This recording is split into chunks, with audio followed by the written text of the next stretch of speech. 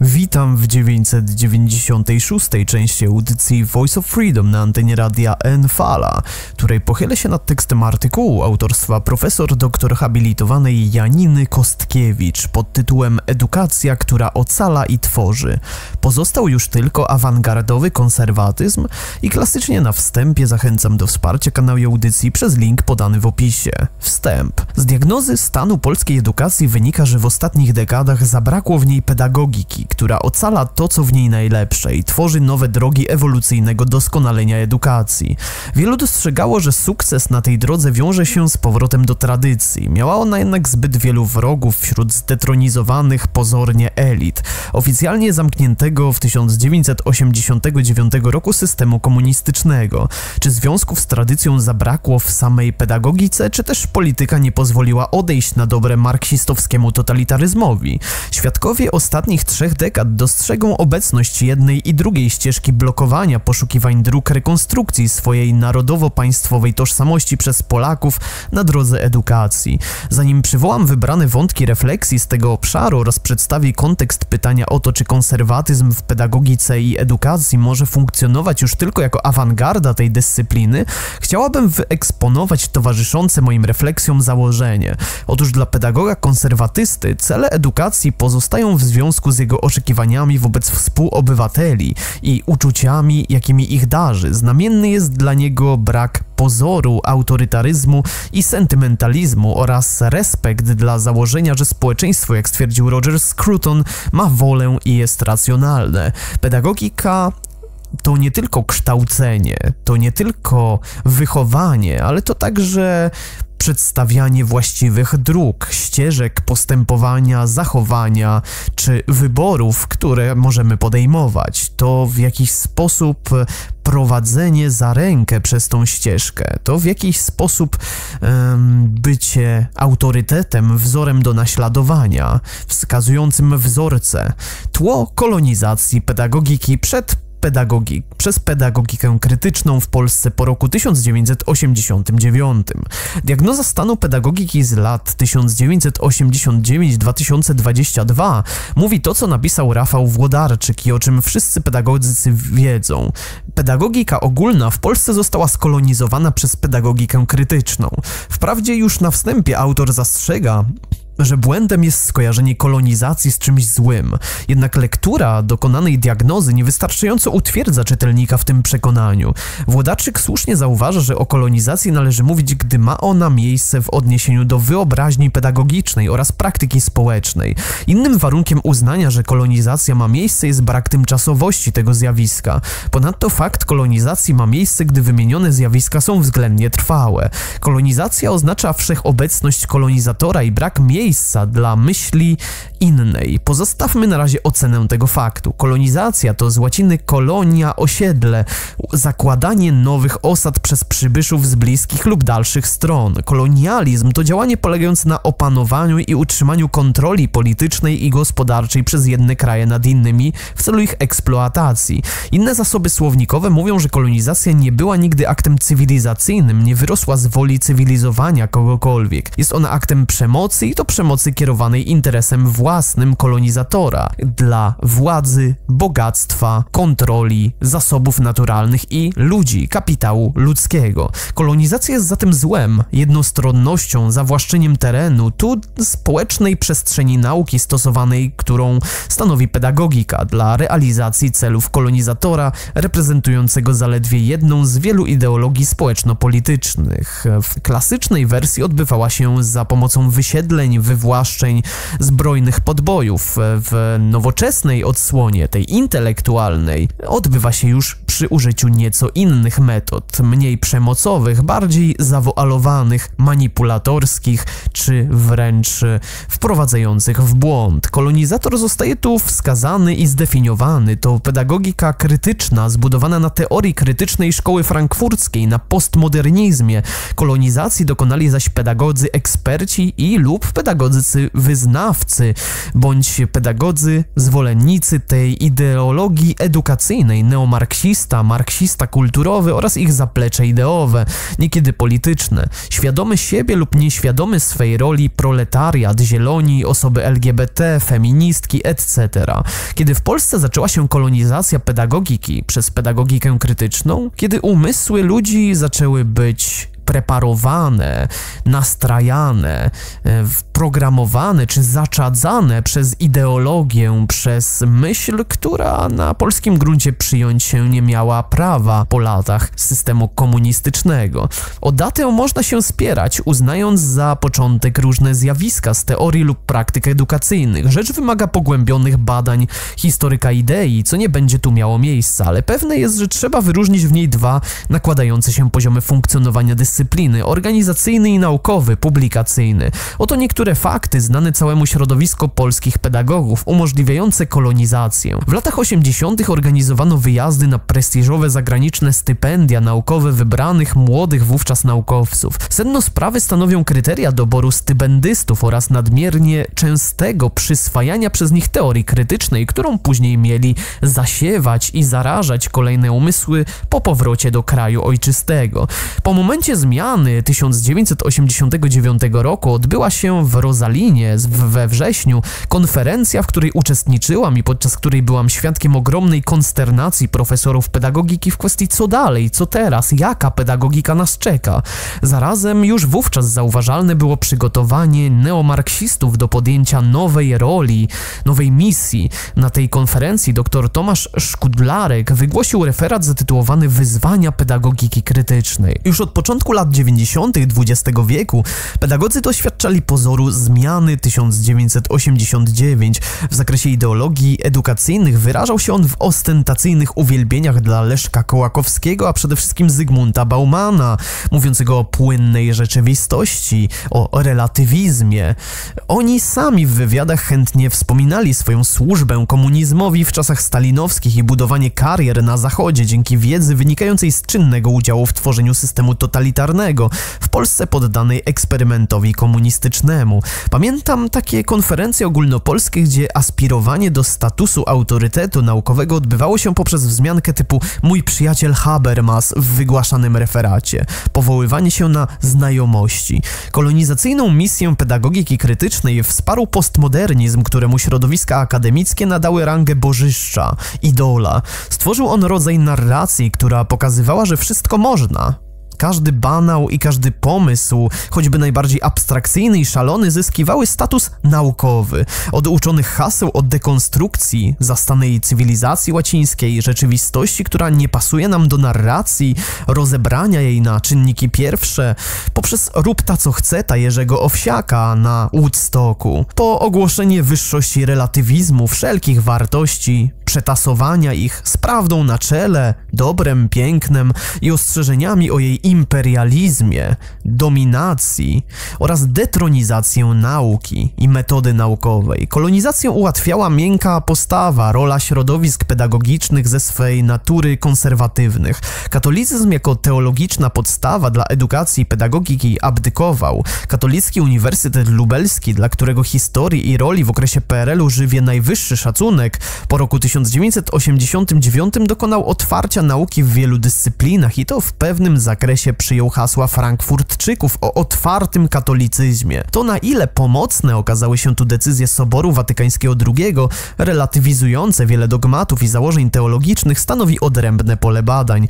Polscy frankfurtczycy nie wspominali, że nowa lewica z jej teorią krytyczną, po którą właśnie sięgali, ulokowana w krajach zachodnich, odsłaniała milczeniem terror cierpiących narodów w krajach oddanych pod opiekę marksizmu spod znaku MELS. Brali w nawias fakt, że w walce z komunistycznym terrorem przodowały konserwatywna i katolicka inteligencja oraz wykształcone duchowieństwo katolickie. Mało tego, polscy frankfurtczycy wzięli na swe sztandary jej hasła o wolności, równości, braterstwie. Po prostu je przywłaszczyli. Niektórzy ukrywali swoje świeże jeszcze angaże i aspiracje. Polscy frankfurtczycy nie wspominali jednak, że w obliczu wielkiego terroru Stalina drugiej połowy lat 30. XX wieku Adorno zasugerował, o czym pisze Andrzej Znamieński, iż jedynym politycznie poprawnym sposobem postępowania jest milczenie wobec wszystkiego, co działo się w stalinowskiej Rosji.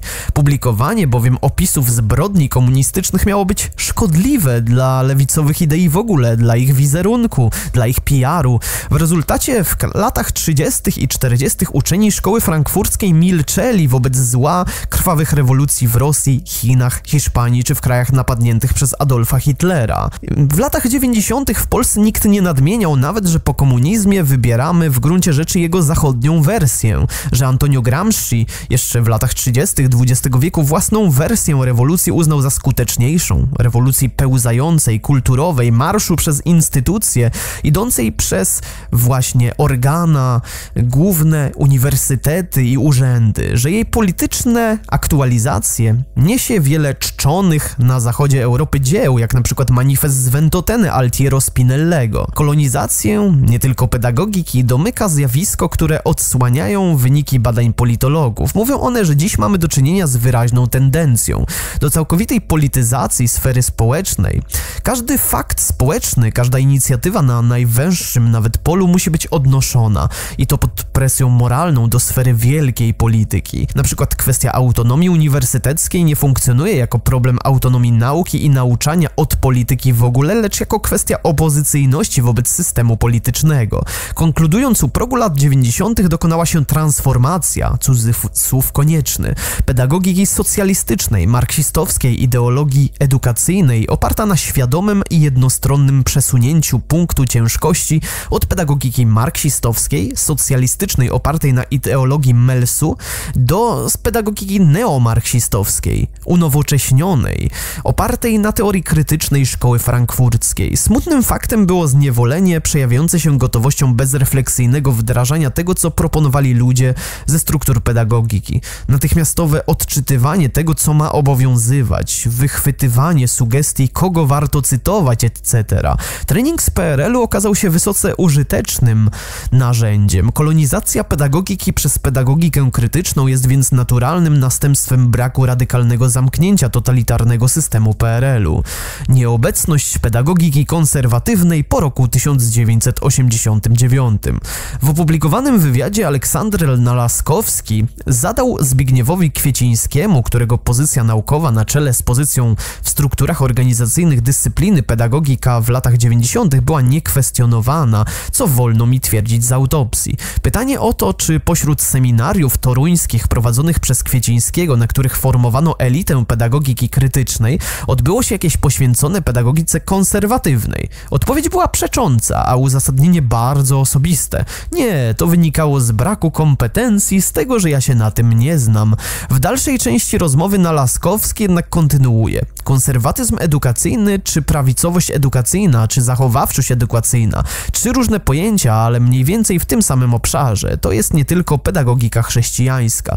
Pytanie to w gruncie rzeczy, moim zdaniem, zmierzało do tego, czy miała miejsce otwartość na pedagogikę inną niż neomarksistowska. Odpowiedź Była następująca. Nie miałem pojęcia, kto w polskiej myśli politologicznej czy pedagogicznej ma spójną wizję pedagogiki konserwatywnej. Odpowiedź ta była z pewnością szczera i prawdziwa, rzecz jednak nie w tym, by zwolennik jednej ideologii edukacyjnej organizował rozwój ideologii konkurencyjnych, lecz by sygnalizował także legalność, prawomocność tej innej ideologii edukacyjnej i jej pedagogiki. Jak rzecz się miała realnie, trzeba pytać bliskich współpracowników Kwiecińskiego. Tu jednak należy przyznać, że lata 90., mimo wyraźnych preferencji dla Frankfurtczyków, były okresem względnego pluralizmu w pedagogice. Takie stanowisko po PRL-u po prostu wypadało reprezentować ze względów moralnych. Znaczące załamanie pluralizmu myśli w świecie akademickim przyjdzie pod koniec drugiej dekady XXI wieku na rzecz dominacji pedagogiki krytycznej. Nieobecność pedagogiki konserwatywnej Kwieciński łączy z jej zawężonym rozumieniem i sprowadzeniem do pedagogiki herbartowskiej oraz z tym, że byliśmy my pedagodzy pouczeni o tym, że ona jest historią, że już odeszła w cień dziejów. Fakt, że to pedagogika socjalistyczna okresu PRL-u pozostawiła nieprawdziwy i negatywny obraz tego, co w wychowaniu oznacza konserwatyzm. Trwanie w tym błędzie sprzyjało przyjmowaniu pedagogiki krytycznej. Kwieciński mówi o kojarzeniu pedagogiki konserwatywnej z autorytaryzmem, z przypisywaniem jej rozwiązań faszystowskich, hitlerowskich czy nawet bolszewickich. Wiadomo, że to ogromny błąd, a zarazem dowód pokazujący jej kłamstwo i pozór wpisane w totalitaryzmy nadal odgrywają swoją rolę. Faszyzmu bowiem nie da się utożsamiać z konserwatyzmem poprzez skrywane sympatie do ateizmu. Hitleryzm był socjalizmem, którego proletariatem była czysta rasa germańska, a metodami działania rewolucyjne. Bolszewizm natomiast złamał wszelkie zasady dowolnej odmiany konserwatyzmu. Dlaczego zatem, mimo deklarowanego i respektowanego w gronie elit pedagogicznych na czele ze kwiecińskim pluralizmu, pedagogika konserwatywna rozwijała się w tak znakomitym zakresie. Jedną z przyczyn było zmęczenie i brak sił do ponownego podjęcia trudu drogi pod prąd. Spadał on przecież na barki tych, którzy w PRL-u stanowili opozycję, czyli na naukowców o prawicowych, patriotycznych i najczęściej katolickich preferencjach. Mimo to pojawiały się pewne inicjatywy. Efekty tych działań były jednak mizerne, w dużej mierze z tego powodu, że ze struktur akademickich nie odeszli starzy marksiści. Wśród nich byli także tajni współpracownicy i etatowi pracownicy SB, niekiedy bardzo dobrze wykształceni dzięki ułatwionym wyjazdom na zagraniczne uniwersytety, mający tam kontakty oraz nawiązaną współpracę, co zdradzało ich inklinacje. Wsparciem dla instalujących pedagogikę krytyczną była opresyjna wobec Kościoła katolickiego i jego duchowieństwa narracja głównych mediów, domagająca się otwartego katolicyzmu. Pomagał temu szerzony w Kościele katolickim ekumenizm i całe pokłosie z Soboru Watykańskiego II, które zbieramy po dziś dzień. Pedagodzy, którym można przypisać miano katolickich, po części podjęli ten trop, widząc jakie zmiany szykuje nam się wprowadzać. Kapłaństwo kobiet, komunia święta dla rozwodników, czy święcenie par homoseksualnych, a to tylko szczyt góry lodowej. Na co miała otwierać się pedagogika chrześcijańska? Na dialog z frankfurtczykami, na alternatywne wobec tradycji chrześcijańskiej edukacyjne rozwiązania. Odrębną kwestią stało się nieużywanie nazwy powiązanej z wyznaniem, to jest pedagogika katolicka, najszerzej reprezentującej twórcze działania edukacyjne i chroniącej tradycje. Pojawiła się presja na jej jej wyparcie, nawet w środowiskach katolickich, a ślady tego zjawiska w publikacjach są znaczące. W Polsce powstawały różne inicjatywy edukacyjne. Do głównych należą szkoły i przedszkola katolickie oraz inne instytucje, gdzie miała miejsce edukacja w duchu konserwatywnym. Fakt ich istnienia niewiele zmieniał w pedagogice, bowiem środowisko pedagogów było nie tylko słabe naukowo, ale także pełne starych towarzyszy, którzy nie mieli ochoty na zmianę swojej roli i odejście od lewicowych sympatii do lamusa historii. Do oparcia się presji kolonizacyjnej zabrakło mocnego, konserwatywnego ośrodka akademickiego, który mógłby udźwignąć zadanie tworzenia takiej pedagogiki i zrzeszyć spójne środowisko.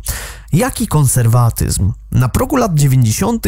grupa młodych warszawskich konserwatystów dokonywała poszukiwań pozwalających na reanimację myśli konserwatywnej w Polsce. Towarzyszyła im świadomość zerwanej ciągłości historii polskiej myśli konserwatywnej przez kataklizmy XX wieku, wielkie totalitaryzmy. Uznano, że trzeba znaleźć jakieś inne niż sama historia kryterium oceny teraźniejszości, ale także przeszłości, która zasługuje na zachowanie.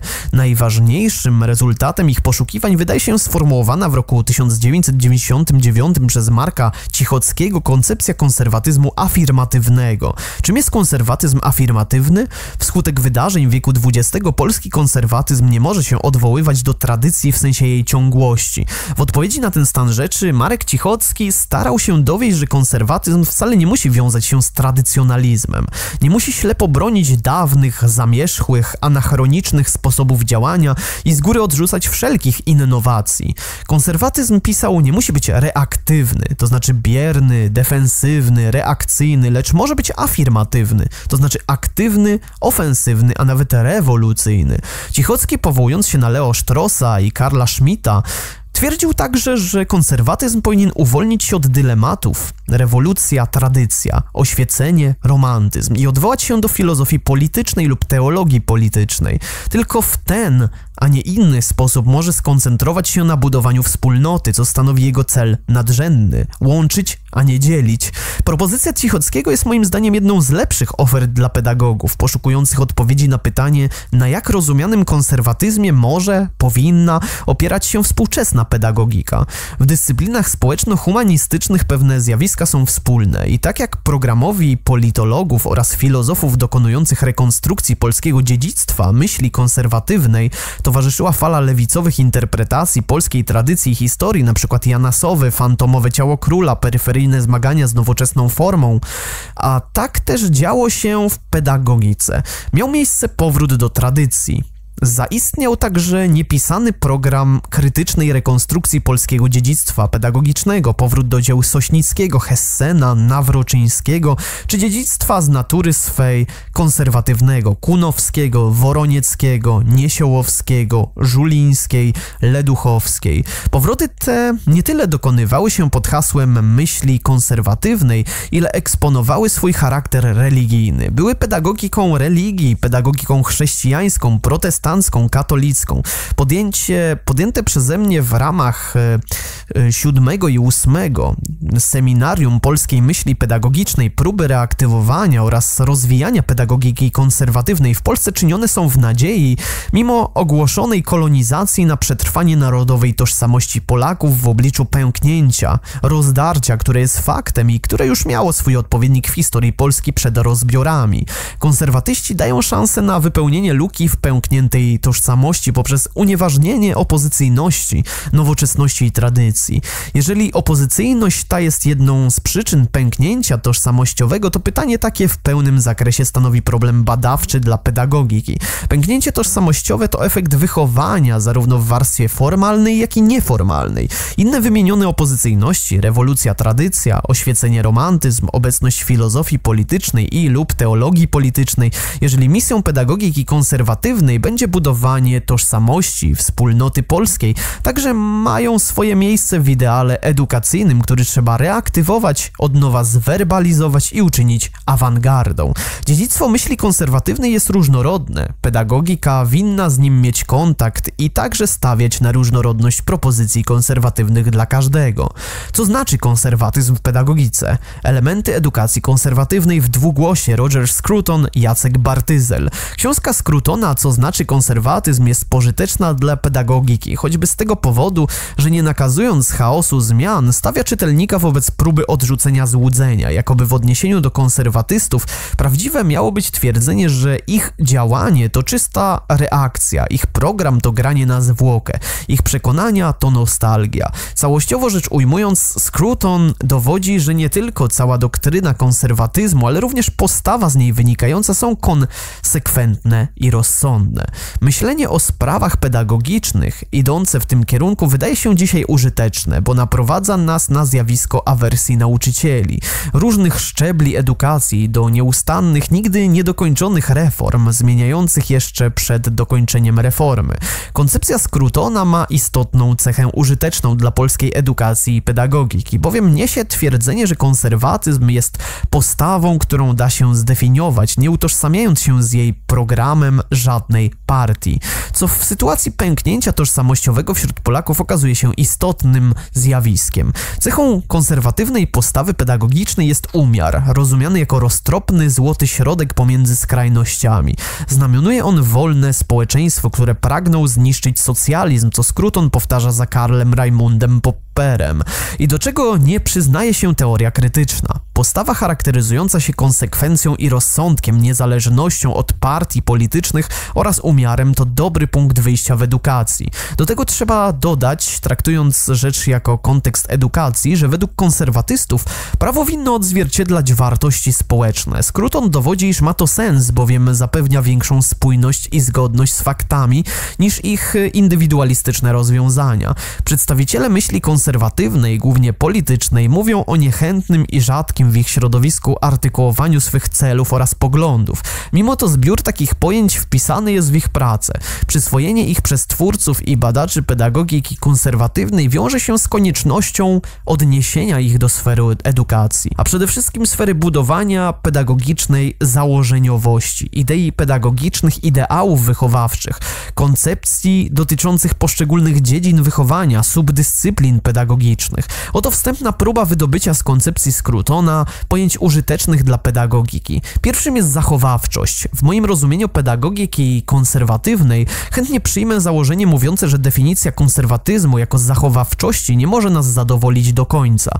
Jeśli wejdziemy w głąb tego przesłania, najistotniejsze w jego interpretacji okazuje się rozumienie go jako poczucia przynależności do zastanego porządku społecznego. Podstawowa w tym jest więź dająca poczucie bycia we wspólnocie. Jeśli wiąże się to z jakąkolwiek instytucją lub stowarzyszeniem, życie tej instytucji lub stowarzyszenia splata się z indywidualną historią życia jej członków. W indywidualnym poczuciu sensu życia jest to rzecz niezmiernie istotna. Wobec plagi samobójstw wśród dzieci i młodzieży, chorób i zaburzeń z depresją na czele, a szkoła oraz inne instytucje oświatowe są takimi instytucjami, które mogą wspomóc budowanie tej więzi od podstaw. Może kolejny raz w historii narodu polskiego, przykładem są zmartwychwstańcy i ich misje edukacyjne.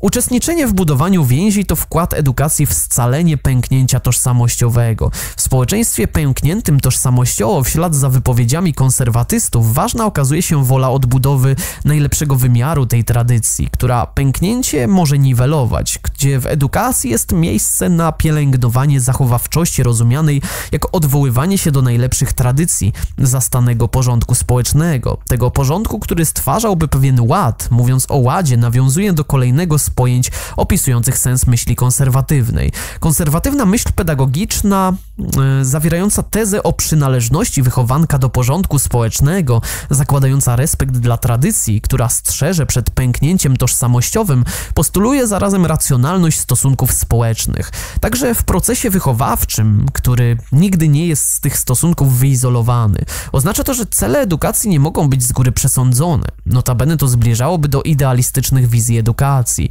Cele edukacji mogą być zatem odkrywane w trakcie działań pedagogicznych oraz odczytywania uwarunkowań procesu edukacyjnego.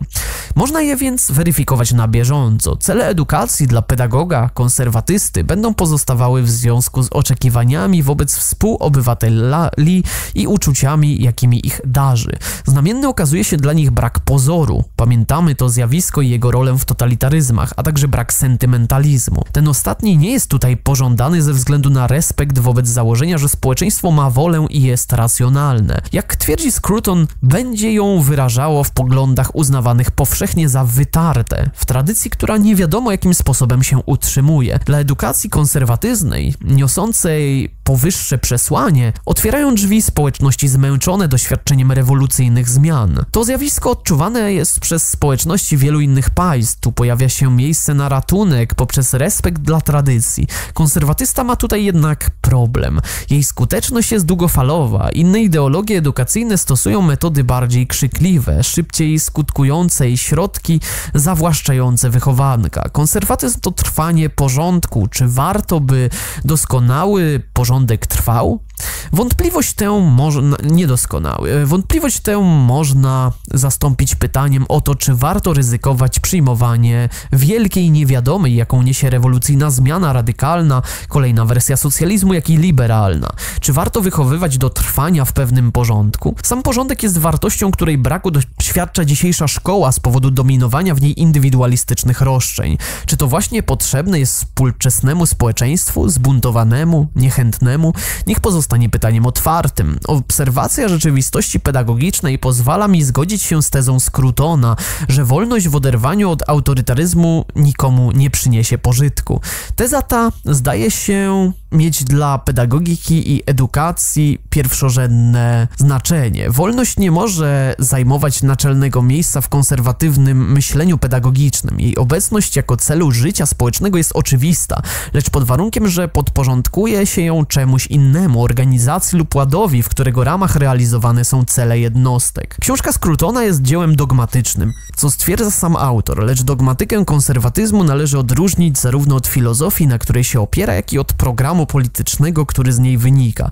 I ten fakt skłania ku spojrzeniu na nią jak na punkt wyjścia w proponowaniu edukacji, która w skolonizowanym przez neomarksistowską lewicę świecie przyjmie rolę awangardy. Odmiennie, głębiej idące inspiracje dla edukacji wyprowadzić można z myśli filozoficzno-politologicznej Jacka Bartyzela. Jedna z jego wypowiedzi skierowana jest wprost do pedagogów. E, drogą odejścia od współczesnej dekadencji winno być domaganie się odbudowy etosu rycerskiego jako najgodniejszego szacunku ideału wychowawczego, co jest szczególnie pilne i ważne wobec szerzących się tendencji do przeciwstawiania mu wzorców pacyfistycznych i koncepcji non-violence jako jedynie humanistycznej. Współczesny ideał wychowania w duchu konserwatywnym może, a nawet powinien zawierać pierwiastek posłannictwa, misji jako celu moralnego narodu pojmowanego wspólnotowo. Ten pierwiastek posłannictwa, obecnie powszechnie odrzucany, winien być obecny w kulturze, dostępny poznawczo i obecny w debacie publicznej, a realizowany przez państwo danego narodu.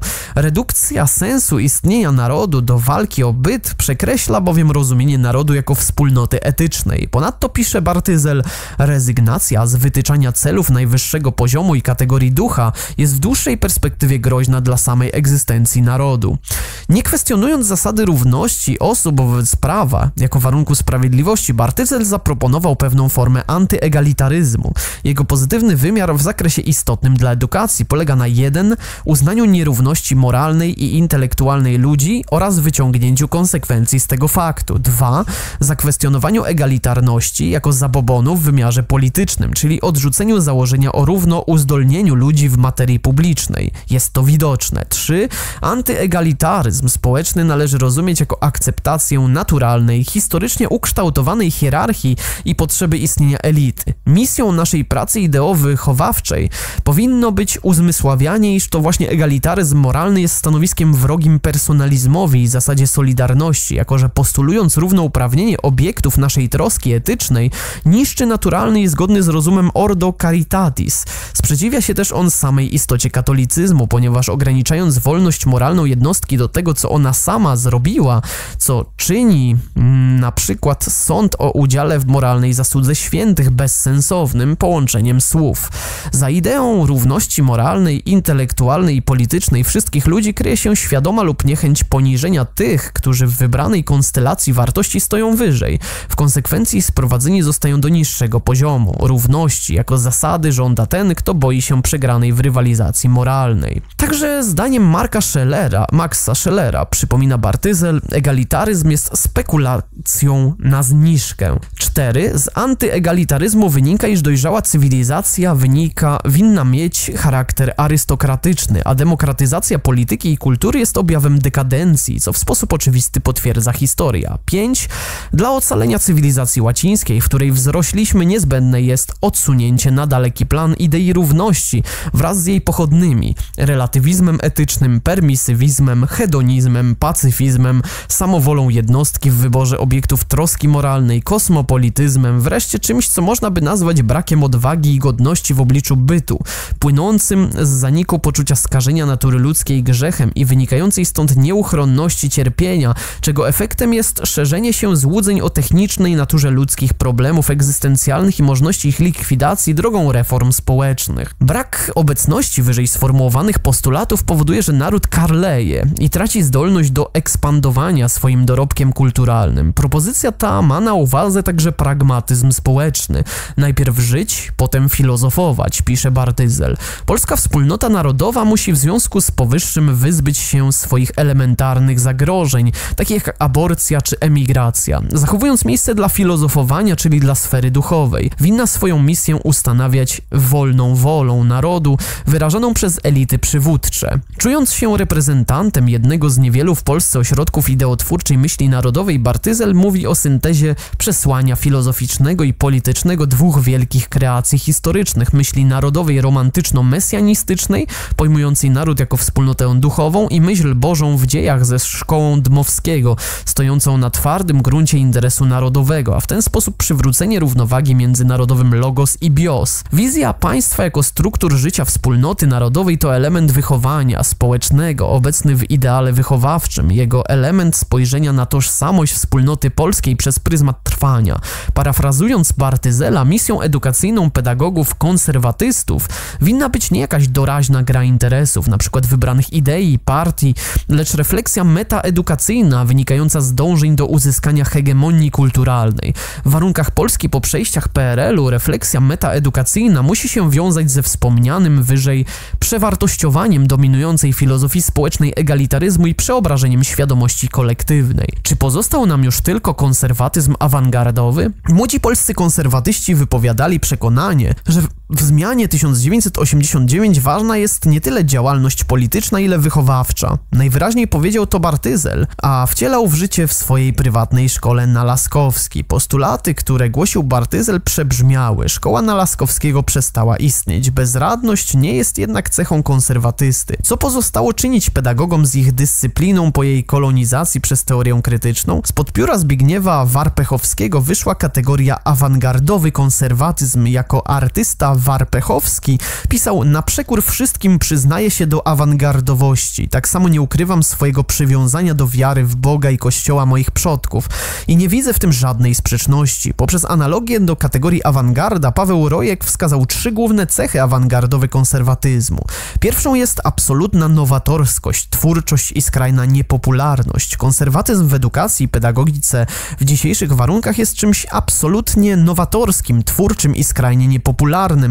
W konsekwencji za taką edukacją i pedagogiką idą niechęć i pogarda. Jako element drugi, z edukacją i pedagogiką konserwatywną wiązać się będzie realizacja ideału o cechach transcendentnych w immanentnej ziemskiej rzeczywistości. Nie jakaś zreformowana wersja religii, lecz istotowo niezmieniona, objawiona religia. Konkretne wyznawanie jest tu oczywistością.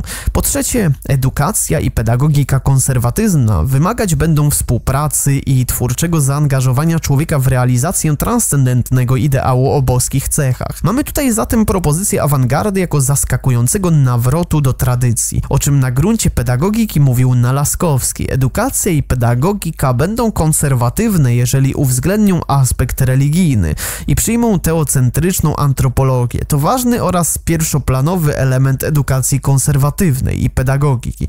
Konieczna będzie zatem edukacja nie pomijająca kwestii teologicznych wybranego wyznania. Gdzieś dalej, w kolejnej odsłonie podążania tym tropem pojawi się potrzeba autorytetu. Wiele dzieł napisano po to, by uzasadnić opresyjny charakter autorytetu. A kto dziś posiada respekt dla autorytetu? W dalszej kolejności pojawi się kwestia autorytetu władzy, problem zmierzenia się z nim w teorii i praktyce edukacyjnej oraz jej treściach. Jak wychowywać ludzi, których tożsamość nie będzie grą pozorów, sumą kłamliwych deklaracji, pustych, którym zdrada tożsamości własnej nie będzie mieściła się w ich własnej mentalności. Konserwatywna myśl pedagogiczna ma swoje tradycje. Myślę tu o misji pedagogicznej zmartwychwstańców, którzy podjęli misję edukacyjną dla podniesienia moralnego narodu, jego uszlachetnienia, gdy zbrojne odzyskanie niepodległości okazało się odległe, którego brak poprzez Targowice jako fakt i symbol zdrady zniszczył państwo i tożsamość narodu. Próba podsumowania. Dawny spór między tradycjonalistami i modernizatorami z końcem pierwszej dekady XXI wieku zaczął stawać się historią. Modernizatorzy powszechnie szukają dziś legitymizacji w tradycji, a tradycjonaliści chcą szczerze wspierać modernizację. Coraz częściej i coraz śmielej mówi się więc o konserwatywnej modernizacji, nowoczesnym patriotyzmie, otwartej ortodoksji i rzecz jasna awangardowym konserwatyzmie. Postulat połączenia nowoczesności z dobrą tradycją oznaczać musi pokawałkowanie tradycji na tą dobrą i złą, czego nie uczyniono po zmianie 1989 w stopniu wystarczającym. Podobnemu zabiegowi winna podlegać oferta nowoczesna, co jest oczywiście zabiegiem trudniejszym, lecz koniecznym. Rojek, powołując się na promowane przez Przemysława Czaplińskiego dwa modele obecności tradycji, pierwszy neguje nowoczesność, drugi umiejętnie włącza ją do projektu późnej nowoczesności, pisze, że proponowany przez niego program awangardowego konserwatyzmu nie mieści się w żadnym z nich. Ani bowiem nie neguje całej nowoczesności, ani się nie podporządkowuje. Otwarte, jego zdaniem, pozostaje pytanie, jaki model pogodzenia tradycji i nowoczesności rzeczywiście w Polsce realizujemy. I od tego uzależnia naszą przyszłość, chociaż Rojek nie kreśli domkniętej koncepcji, wizji polskiego konserwatyzmu awangardowego w propozycji łączenia tradycji oraz nowoczesności. Wskazuje elementy istotne, przednowoczesna religijność, przypadłościowe noszenie wąsów tradycji, a także elementy istotne, separacja sfery religii i przypadłościowe jedzenie sushi nowoczesności. Połączenie sprowadzałoby się do zachowania elementów istotnych oraz krytyki i odrzucenia przypadłości. Awangardowy konserwatyzm byłby więc zaskakującą transsubstancjacją nowoczesności. Nie jest to co prawda gotowa oferta dla edukacji bądź reaktywowania i budowania pedagogiki konserwatywnej, ale niewątpliwie propozycja godna przetransponowania na grunt pedagogiki czy teorii wychowania w ogóle. Bardzo dziękuję.